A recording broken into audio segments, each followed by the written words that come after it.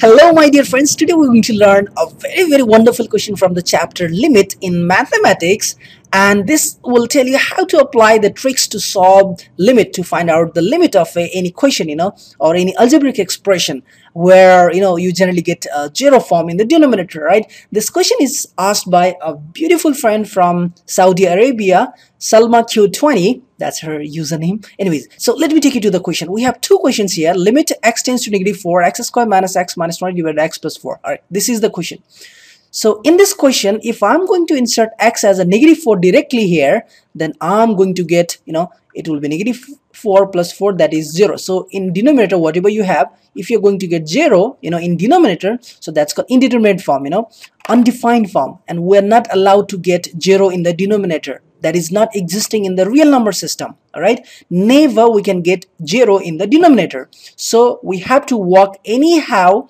before applying before inserting this x as a negative 4 into this expression so that we won't get zero in the denominator. In exactly in the similar way in the second question also we have you can see if I'm going to insert x as a 9 in denominator here then this 9 minus 9 I'm going to get 0 alright so if I'm going to get 0 I already told you that is not existing in real number. I mean, we don't uh, learn this in real number mathematics. So uh, this is indeterminate form, you know, undefined form, right? So we have to work on on this this stuff. Like anyhow, we have to uh, remove the zero from the from the denominator after applying this uh, after inserting this x or or this x anyhow. All right. So what are the tricks? I'm gonna tell you that in just a second. All right. So see here.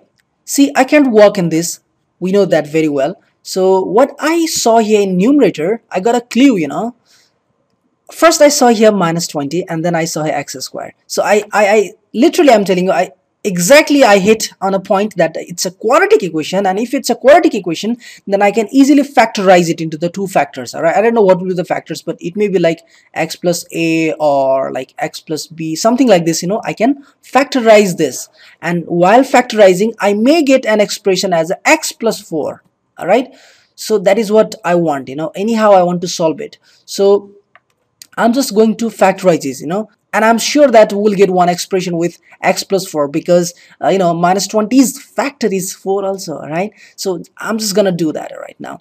Limit x tends to negative 4 and now we can uh, we can solve this by various method. We can we can factorize this by various method but I'm gonna do by factorization by middle term splitting all right so it's x square minus x minus 20, right? So x square minus. Uh, now let me tell you something. You know, whenever you're going to do middle term splitting, I know you you might be knowing or not. I don't know, but uh, I want to tell you here this. How how do you solve this generally? Always always you know this type of thing you need to compare with ax square plus bx plus c and c. This is a and this is c. So product of a and c and b. See here b.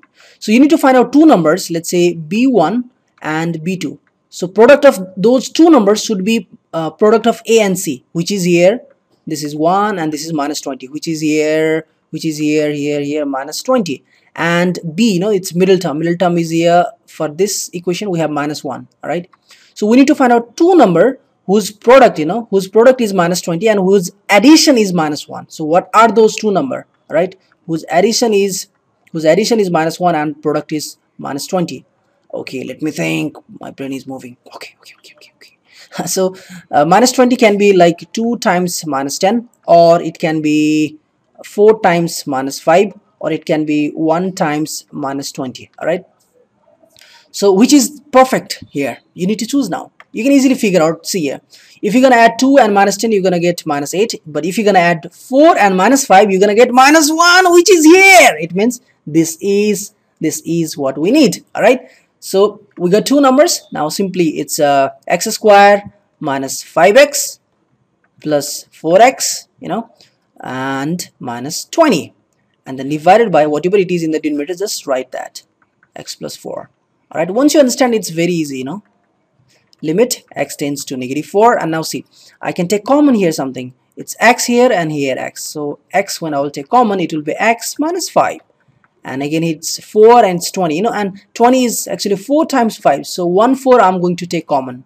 So 4 outside and now it's x minus 5 divided by x plus 4 and my dear friend further you see something is there? Yes that is x minus 5 and x minus 5 so limit x tends to negative 4 and now I'm going to take x minus 5 common outside and I'll be left with this x and then plus 4 divided by x plus 4 and see here you can easily cancel this x plus 4 and x plus 4 so our question is turning as limit x tends to negative negative 4 and it's x minus 5 now you can easily insert this x as a negative 4 so it's going to be negative 4 minus 5 and our answer is minus 9 so this is how we need to solve it all right I hope you understand this question and let's walk on now in second question. Our second question is limit x tends to 9 root x minus 3 x minus 5.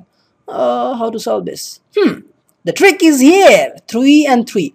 So what did you figure out? Square of 3 is 9 and square of root x is x you know root x square is x so it, this is just like you know a square and then b square. And the formula of a square minus b square you know very well that is a minus b times a plus b. You know this is the identity algebraic identity that you have learned. So this is exactly the thing we're gonna follow. So a minus b will cancel up with this you know if you compare with that. Okay so let's solve it first. X tends to 9 alright let's write numerator as it is. And in denominator I'm writing x as a root x whole square because we know that uh, root 2 square you know root root 2 square is 2 so root x square will be x definitely.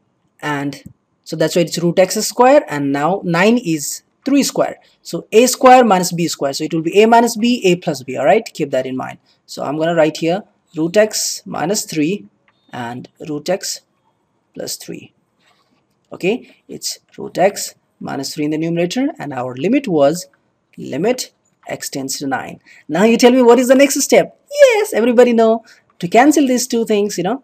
So we'll get one time and then our question is turning very simple.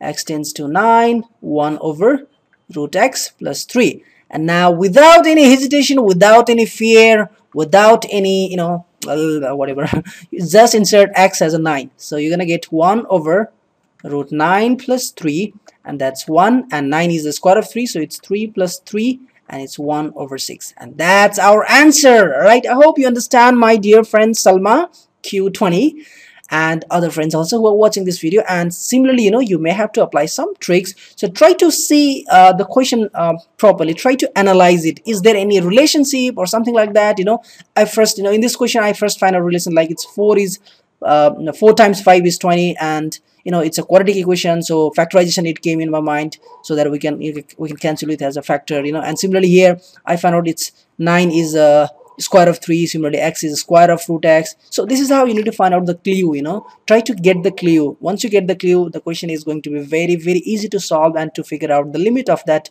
that question. Uh, I believe you understand this. If there is any question or anything and feedback and please please please do commenting below this video. I will be really really happy. Like this video and subscribe this channel. And I wish you a very very wonderful day. Goodbye